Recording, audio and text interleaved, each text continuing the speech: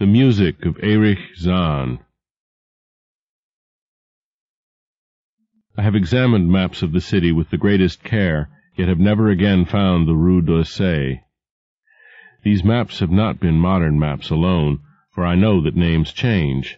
I have, on the contrary, delved deeply into all the antiquities of the place, and have personally explored every region, of whatever name, which could possibly answer to the street I knew as the Rue d'Auseil. But despite all I have done, it remains an humiliating fact that I cannot find the house, the street, or even the locality where, during the last months of my impoverished life as a student of metaphysics at the university, I heard the music of Erich Zann. That my memory is broken, I do not wonder, for my health, physical and mental, was gravely disturbed throughout the period of my residence in the Rue d'Auseil, and I recall that I took none of my few acquaintances there, but that I cannot find the place again is both singular and perplexing, for it was within a half hour's walk of the university, and was distinguished by peculiarities which could hardly be forgotten by anyone who had been there. I have never met a person who has seen the Rue d'Auseil. The Rue d'Auseil lay across a dark river bordered by precipitous brick, blear-windowed warehouses, and spanned by a ponderous bridge of dark stone. It was always shadowy along that river, as if the smoke of neighboring factories shut out the sun perpetually. The river was also odorous with evil stenches which I have never smelled elsewhere, and which may some day help me to find it, since I should recognize them at once. Beyond the bridge were narrow cobbled streets with rails, and then came the ascent, at first gradual, but incredibly steep as the Rue d'Auseil was reached. I have never seen another street as narrow and steep as the Rue d'Auseil. It was almost a cliff, closed to all vehicles, consisting in several places of flights of steps, and ending at the top in a lofty ivied wall. Its paving was irregular, sometimes stone slabs, sometimes cobblestones, and sometimes bare earth with struggling greenish-gray vegetation. The houses were tall, peaked-roofed, incredibly old, and crazily leaning backward, forward, and sidewise. Occasionally an opposite pair, both leaning forward, almost met across the street like an arch, and certainly they kept most of the light from the ground below. There were a few overhead bridges from house to house across the street. The inhabitants of that street impressed me peculiarly.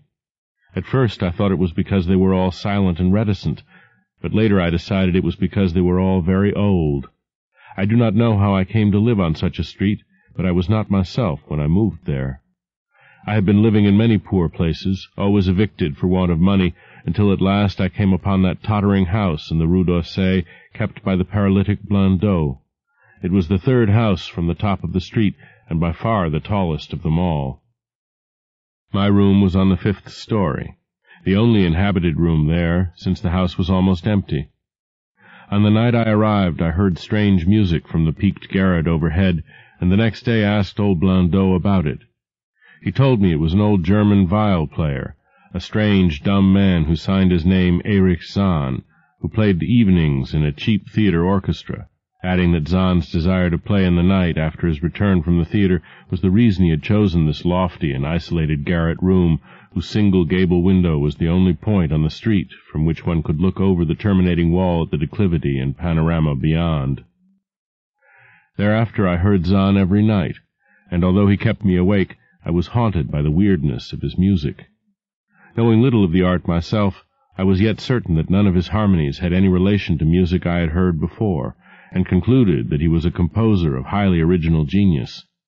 The longer I listened, the more I was fascinated, until after a week I resolved to make the old man's acquaintance. One night, as he was returning from his work, I intercepted Zann in the hallway, and told him that I would like to know him and be with him when he played. He was a small, lean, bent person with shabby clothes, blue eyes, grotesque, satyr-like face, and nearly bald head, and at my first word seemed both angered and frightened. My obvious friendliness, however, finally melted him, and he grudgingly motioned to me to follow him up the dark, creaking, and rickety attic stairs. His room, one of only two in the steeply pitched garret, was on the west side, toward the high wall that formed the upper end of the street. Its size was very great, and seemed the greater because of its extraordinary bareness and neglect. Of furniture there was only a narrow iron bedstead, a dingy washstand, a small table, a large bookcase, an iron music rack, and three old-fashioned chairs. Sheets of music were piled in disorder about the floor. The walls were of bare boards, and had probably never known plaster, whilst the abundance of dust and cobwebs made the place seem more deserted than inhabited. Evidently Erich Zann's world of beauty lay in some far cosmos of the imagination. Motioning me to sit down, the dumb man closed the door, turned the large wooden bolt, and lighted a candle to augment the one he had brought with him. He now removed his viol from its moth-eaten covering, and taking it, seated himself in the least uncomfortable of the chairs. He did not employ the music rack, but offering no choice and playing from memory, enchanted me for over an hour with strains I had never heard before, strains which must have been of his own devising. To describe their exact nature is impossible for one unversed in music. They were a kind of fugue, with recurrent passages of the most captivating quality, but to me were notable for the absence of any of the weird notes I had overheard from my room below on other occasions. Those haunting notes I had remembered, and had often hummed and whistled inaccurately to myself, so when the player at length laid down his bow, I asked him if he would render some of them. As I began my request, the wrinkled satyr-like face lost the bored placidity it had possessed during the playing, and seemed to show the same curious mixture of anger and fright which I had noticed when first I accosted the old man. For a moment I was inclined to use persuasion, regarding rather lightly the whims of senility, and even tried to awaken my host's weirder mood by whistling a few of the strains to which I had listened the night before but I did not pursue this course for more than a moment, for when the dumb musician recognized the whistled air, his face grew suddenly distorted with an expression wholly beyond analysis, and his long, cold, bony right hand reached out to stop my mouth and silence the crude imitation. As he did this, he further demonstrated his eccentricity by casting a startled glance toward the lone curtained window, as if fearful of some intruder a glance doubly absurd since the garret stood high and inaccessible above all the adjacent roofs, this window being the only point on the steep street, as the concierge had told me, from which one could see over the wall at the summit. The old man's glance brought Blandot's remark to my mind, and with a certain capriciousness I felt a wish to look out over the wide and dizzying panorama of moonlit roofs and city lights beyond the hilltop, which of all the dwellers of the Rue d'Auseil only this crabbed musician could see. I moved toward the window, and would have drawn aside the nondescript curtains, when with a frightened rage even greater than before, the dumb lodger was upon me again, this time motioning with his head toward the door as he nervously strove to drag me thither with both hands. Now thoroughly disgusted with my host, I ordered him to release me, and told him I would go at once. His clutch relaxed, and as he saw my disgust and offense, his own anger seemed to subside. He tightened his relaxing grip, but this time in a friendly manner, forcing me into a chair, then with an appearance of wistfulness crossing to the littered table, where he wrote many words with a pencil in the labored French of a foreigner. The note which he finally handed me was an appeal for tolerance and forgiveness.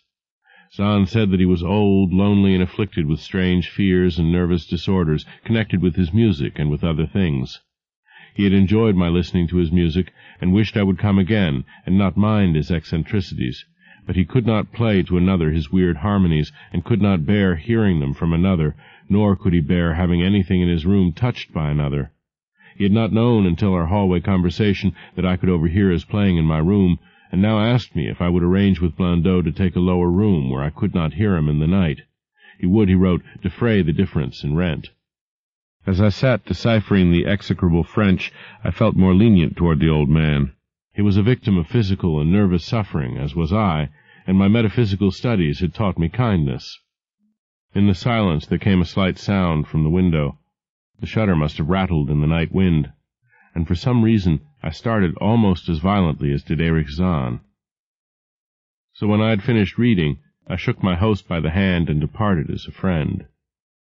The next day Blandot gave me a more expensive room on the third floor between the apartments of an aged money-lender and the room of a respectable upholsterer. There was no one on the fourth floor.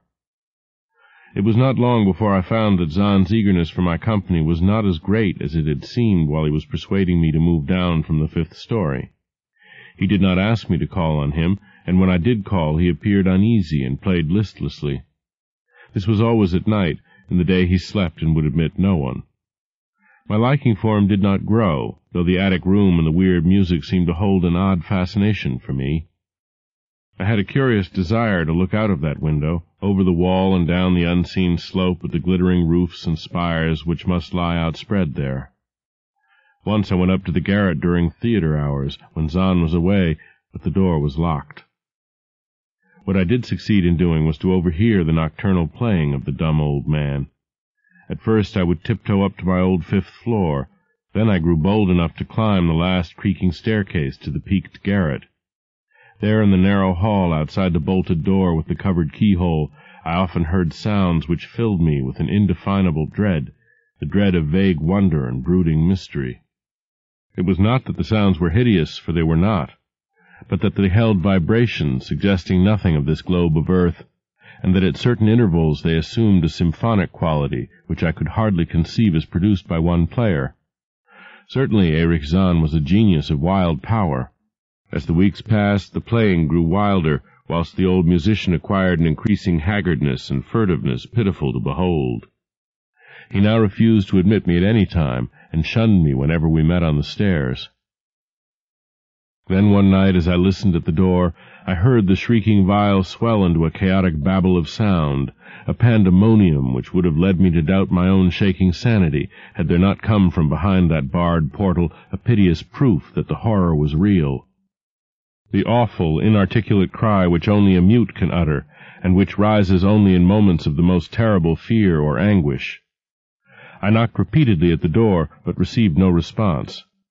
Afterward I waited in the black hallway, shivering with cold and fear, till I heard the poor musician's feeble effort to rise from the floor by the aid of a chair.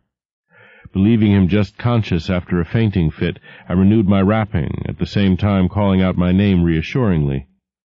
I heard Zann stumble to the window and close both shutter and sash, then stumble to the door, which he falteringly unfastened to admit me. This time his delight at having me present was real, for his distorted face gleamed with relief while he clutched at my coat as a child clutches at its mother's skirts. Shaking pathetically, the old man forced me into a chair, whilst he sank into another, beside which his viol and bow lay carelessly on the floor. He sat for some time inactive, nodding oddly, but having a paradoxical suggestion of intense and frightening listening. Subsequently he seemed to be satisfied, and crossing to a chair by the table, wrote a brief note, handed it to me, and returned to the table, where he began to write rapidly and incessantly. The note implored me, in the name of mercy, and for the sake of my own curiosity, to wait where I was while he prepared a full account in German of all the marvels and terrors which beset him. I waited, and the dumb man's pencil flew. It was perhaps an hour later, while I still waited, and while the old musician's feverishly written sheet still continued to pile up, that I saw Zann start as from the hint of a horrible shock. Unmistakably he was looking at the curtained window and listening shudderingly. Then I half fancied I heard a sound myself, though it was not a horrible sound, but rather an exquisitely low and infinitely distant musical note, suggesting a player in one of the neighboring houses, or in some abode beyond the lofty wall over which I had never been able to look. Upon Zann the effect was terrible, for dropping his pencil suddenly, he rose, seized his viol, and commenced to rend the night with the wildest playing I had ever heard from his bow, save when listening at the barred door. It would be useless to describe the playing of Erich Zann on that dreadful night. It was more horrible than anything I had ever overheard, because I could now see the expression of his face, and could realize that this time the motive was stark fear. He was trying to make a noise, to ward something off or drown something out.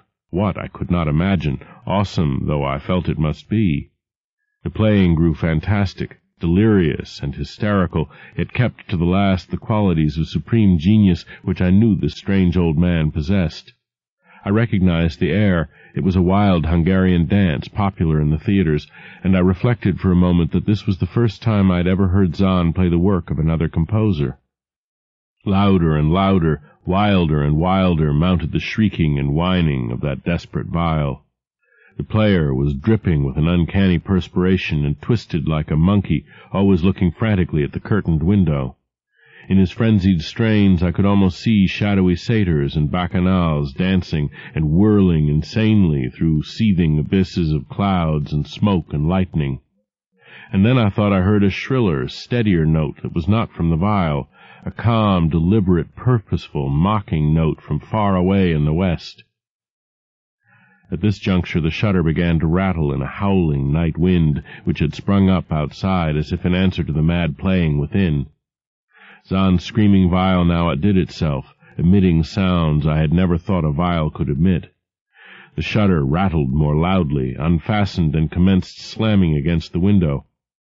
Then the glass broke shiveringly under the persistent impacts, and the chill wind rushed in, making the candles sputter, and rustling the sheets of paper on the table where Zann had begun to write out his horrible secret. I looked at Zann and saw that he was past conscious observation. His blue eyes were bulging, glassy, and sightless, and the frantic playing had become a blind, mechanical, unrecognizable orgy that no pen could ever suggest. A sudden gust, stronger than the others, caught up the manuscript and bore it toward the window.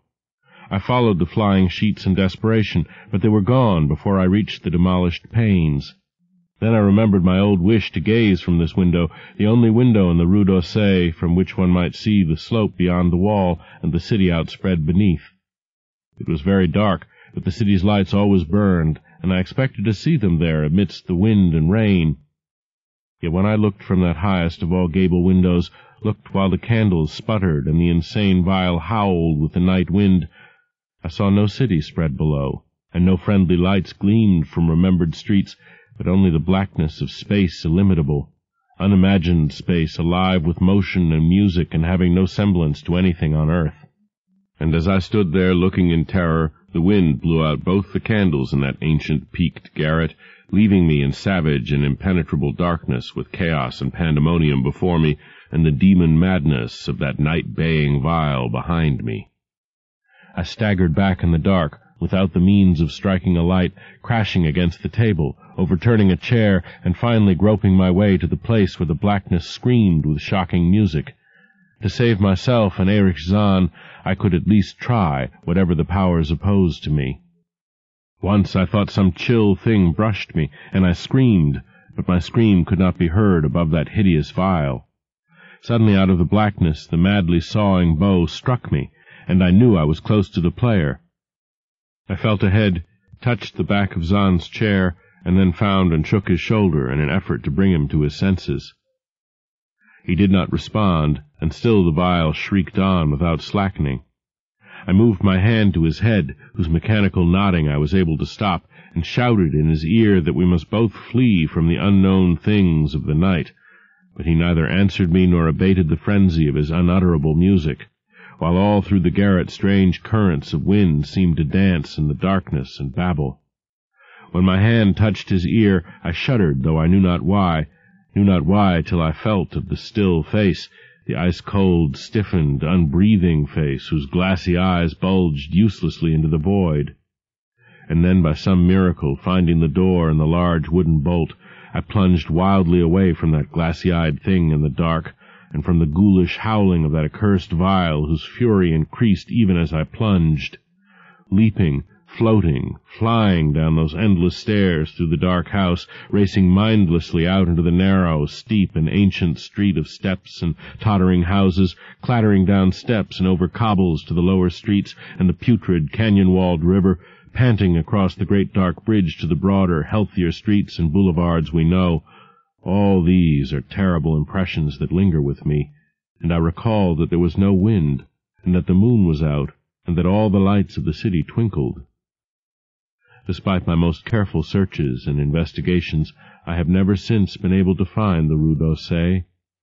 But I am not wholly sorry, either for this or for the loss in undreamable abysses of the closely written sheets which alone could have explained the music of Erich Zann.